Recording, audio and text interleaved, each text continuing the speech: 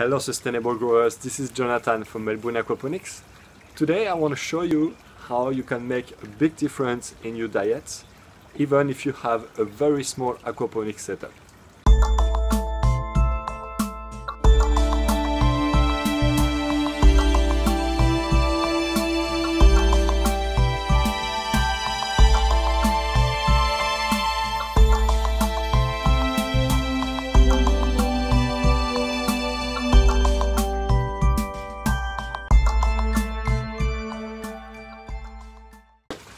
So I very often receive the question, what is the minimum size of uh, the aquaponic setup that I need to be able to uh, fulfill my needs in terms of food. So if you want to produce 100% of your food at home, you will need several square meters of grow bed. Right? You will need a, a certain surface to be able to fulfill this need. Now, even with a very small setup, you can make a very big difference in your diet, in your food diet, uh, just by uh, following the process I'm going to show you today. So what you really need, to be honest with you, if you want to make a, a difference in terms of vitamins that you offer to your body, is a simple square meter. In one square meter, you can produce enough vitamins to really boost your body every day. So the, the, the trick is very simple. You simply need to not cook the food that you grow. So you know, in one square meter, you can grow few spinach, few lettuce, few herbs, right? Few veggies. And those few veggies, it's enough because every day they're going to produce some leaves. It's enough for you to make a juice. So that's what we're going to do. We're going to make a juice and I'm going to show you how with a very very limited surface area, very small aquaponic setup, you can drink every morning a juice from your aquaponic setup and this juice is going to be very very high in terms of vitamins. So let's do it. Now I'm going to collect a few leaves and I'm going to show you how I select the leaves to not having to always plant new plants. You know that the plant is growing every day is producing new leaves and the old one are dying, right? So what the normal farmers do, they just cut the plant, the, the, the whole plant by itself and then they have to plant new, uh, new seedlings and it takes a lot of time to grow again what you can do in aquaponics if you got a very small setup or even if you got a big one what you can do is basically to collect the leaves that are the oldest so that the plants continue to grow from the middle but you collect the ones that are growing uh, that are a bit older and that if you leave the plants would die and would just uh, return some organic matters to the to the uh, to the to the system. So instead of leaving the, the old leaves dying you just collect them and you're going to consume them and you're going to consume them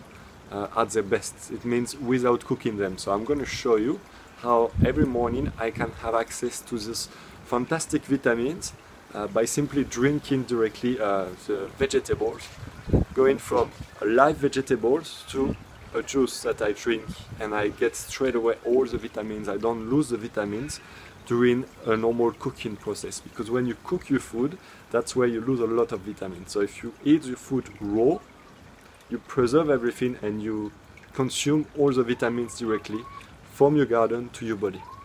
So here we have a grow bed that is less than one square meter. It's less than one square meter.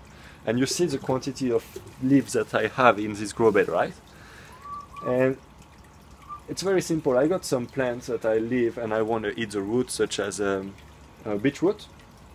I got a bit of broccoli. I got a bit of everything. I got a bit of fennel, um, a bit of um, silver beet. Here I got some celery. At the back here I got some beans. You can see them. Yes, here you got some beans. You know, I mean, I got a bit of everything, right? And that's that's the secret of aquaponics. I'm not gonna uh, go back to this point, but really, you have to have a lot of biodiversity if you want to avoid any pests in your aquaponics setup. What I really want to uh, show you today is the fact that I got this uh, beetroot and you can see that here the temperature is rising in, in Melbourne at the moment and this plant is going to grow in height, going, trying to go to seeds. So what I can do, I could just cut uh, the top so that I'm gonna have more leaves on the uh, on the side. But today I really want to show you how I make my juice. You know, every morning you got the availability, the, the- uh, sorry, every morning you got the ability to collect some leaves. You know the leaves that are old and that are ready to die, and you can eat them. You can drink them straight away, so you get all the nutrients directly from uh, those lovely plants. Because here you see they are in, in fantastic conditions. They are full of vitamins, and that's what I want to put in my body. So look at this leaf. You see here I got an old leaf. It's it's a bit dying, you know. It's like it's not dying. It's still full of life. But I know that if I leave it like this, uh, in few weeks it's gonna be down uh, in the ground, and basically it's gonna decompose itself.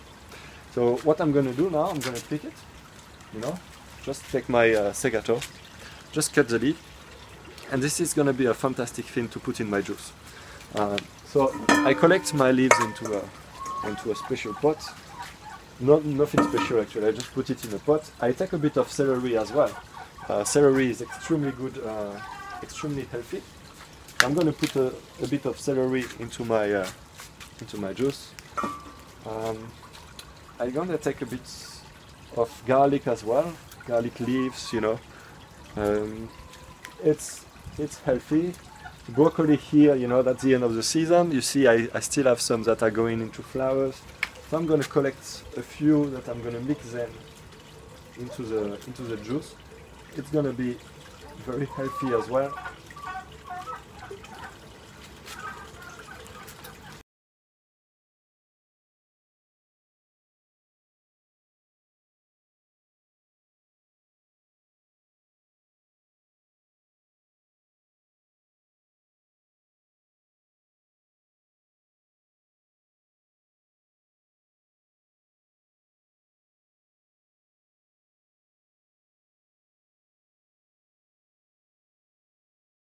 Okay, so now I have collected a few few leaves. I'm just gonna zoom on the on those leaves. I want to show you what I do just before uh, making my juice.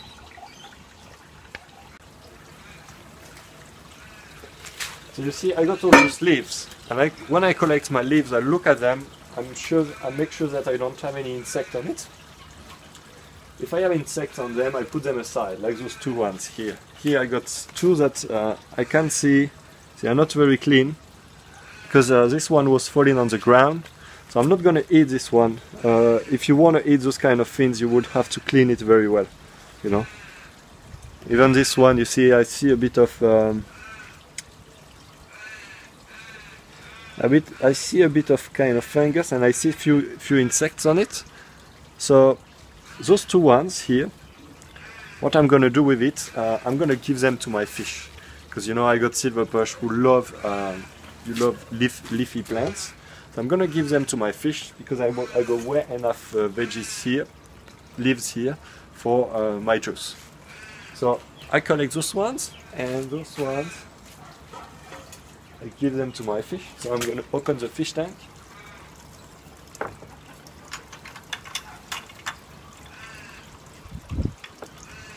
I'm just gonna leave those two floating here. So one thing when you when you give those kind of leaves to your fish into your fish tank, it is very important to understand that uh, the the part of the leaves here is very soft, so the fish are gonna eat it, right? But the stem of the of the leaf, they are not gonna eat it. And here you got a lot of line inside, right? You got a lot of lignin actually. If you leave it into your fish tank after a while, uh, it's going to decompose, but you're going to still have the lines, and those lines are going to finish into your pump, your water pump. So you really don't want this to happen because uh, it's going to basically block the pump, and uh, if you leave it into the pump, it's going to decrease the water flow, but also it's going to decrease the, the the life of you of your pump, right? If your pump is designed to last for two years, it may last only six months, just because it's got those kind of fins. You see those kind of string that are inside the veggies, you know, very uh, classic. But the, they can just they can just stuck around the rotor of the pump, and then uh, it's really it's not good for the for the mechanic of the pump really. So what I recommend you to do is you put this into your set, into your aquaponic setup. That's what I, I do. You know, I put it into my fish tank. But once after at the end of the day, you know, once the fish have eaten all the things they wanted to eat, you just remove the, the, the stamp and you put it away. What I do is I, I uh, remove the stamp and I give it to my chickens. So you see I do the full cycle. I use it for myself, the leftover I give it to the fish, the leftover of the fish I give it to the chicken, and anyway when I give it to my chicken what I actually do I put it in the compost and the chicken have access to the compost so they eat what they want. So whatever the chicken are not eating stays into the compost and obviously in few months whatever is into the composts is gonna return into my uh, into my garden, into my classic garden to grow other kind of vegetables. So really I don't lose anything, I really recycle, recycle, recycle. Uh, you know, everything is good. We just need to find a good use for all those uh, little, um, I mean, different parts of the veggies. Now we're gonna see how we make the juice. Okay, so to make the juice is very simple. I just take my veggies. You can wash them into the water if you want. Uh, me, I am very confident with uh, my my aquaponic setup. I, I watch the, the different veggies and they look quite clean to me, so I don't really mind to eat them as they are. But if you want, you can put them in the water. Uh, if I got some leaves like this, I put them aside for my compost. You know the old leaves, and remove them. And then the rest, I'm gonna chop it. Not very thin, you know just enough to fit into my uh, into my mixer, my blender basically. I put everything here. Very easy. You see, you don't need much, huh? It already fills the fills the cup completely because that's what I use. It's uh, basically a NutriBullet, but you can use any other brand so once I put the veggies inside, I put some water inside.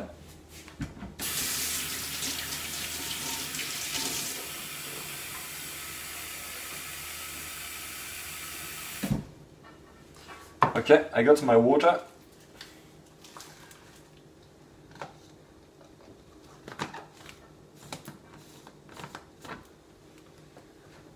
Close it properly.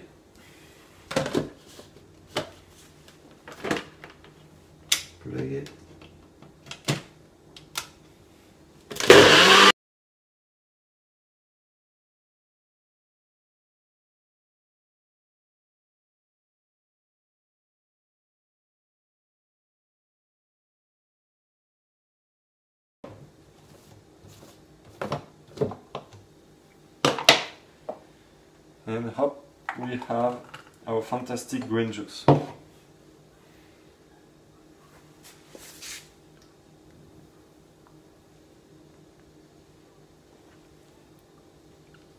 and you can add some oranges inside, something to make it a bit more, um, you know, to add a bit of sugar to make it uh, a bit more appealing.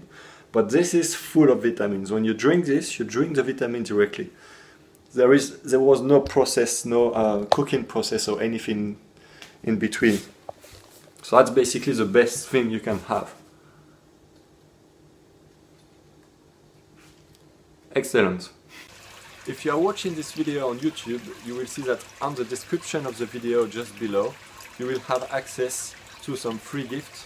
First, you have access to a six-step process to be able to build your own aquaponic system in good conditions. I developed this six-step process because I found that too many beginners are basically starting aquaponics with a wrong design.